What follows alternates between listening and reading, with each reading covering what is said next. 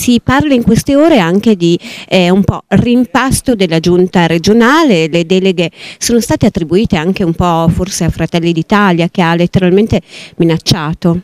Ma eh, guardi, io devo dire che abbiamo trovato una dimensione, una, un accordo evidentemente tra tutti, eh, l'obiettivo è quello certamente di lavorare bene, credo di aver sempre lavorato bene perché insomma in queste ore mi stanno arrivando anche dagli enti gestori grandi forme di solidarietà e di eh, diciamo affezione perché in due anni e mezzo si sono anche creati dei rapporti personali, devo dire che comunque tutto l'ambito del terzo settore resterà in capo alla sottoscritta così come tutto il tema tema delle fragilità e quindi non c'è questo cambiamento diciamo epocale. Poi ho acquisito una nuova delega che è quella del benessere animale che era da oltre un anno che chiedevo perché credo che quello sia un tema fondamentale rispetto al quale oggi bisogna agire anche a livello più alto e quindi regionale, non solo a livello locale per avere un coordinamento, una gestione di, eh, di, di insieme e poi c'è anche tutto il tema ovviamente dei minori che non lascerei mai e che ovviamente andiamo a rendere ancora più diciamo così, a implementare e a dare valore a questo tema che è assolutamente fondamentale. La casa rimane